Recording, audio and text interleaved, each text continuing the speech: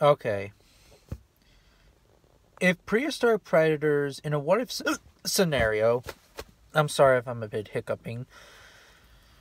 In a what if scenario, if National Geographic published prehistoric predators again, and if they did like a season three, here's what animals that I would list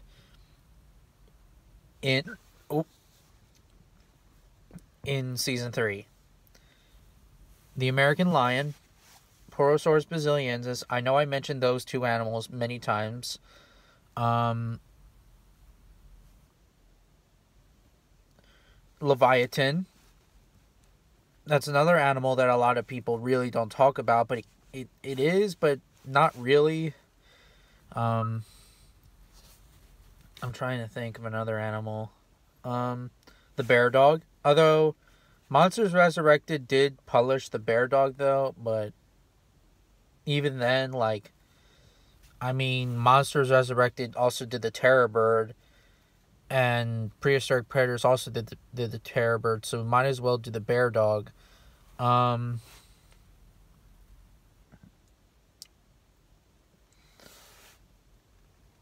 um, what else? What else? What else? What else? I'm trying to think of another. Um, uh, prehistoric animal from the Cenozoic era that should be featured in season three of Prehistoric Predators. Um, hmm. I'm trying to think. Let's see here.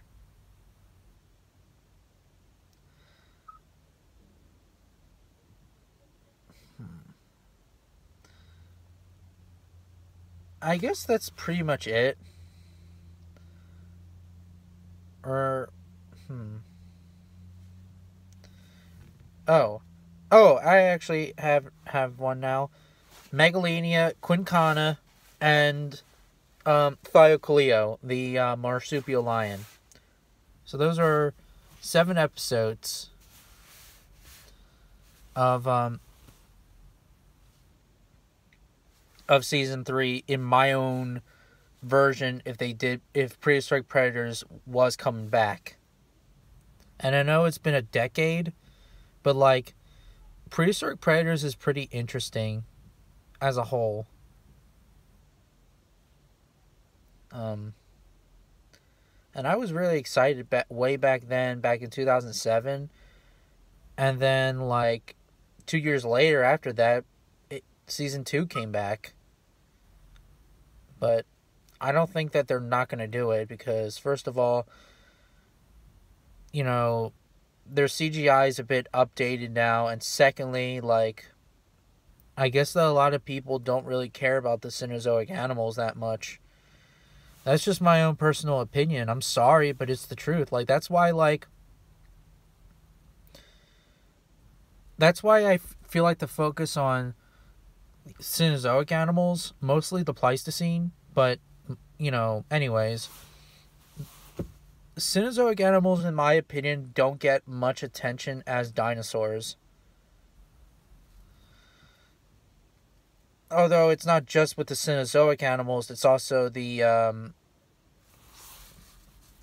the Paleozoic, pa- Paleozoic, the Carboniferous and the Permian. They pe- they don't focus on them as well, but anyways, um, yeah, I, I like um that documentary. I think that Prehistoric Predator should have been a big success. You know, I mean, I know that yes, it's a bit outdated, but like, I don't care. That's just me, though.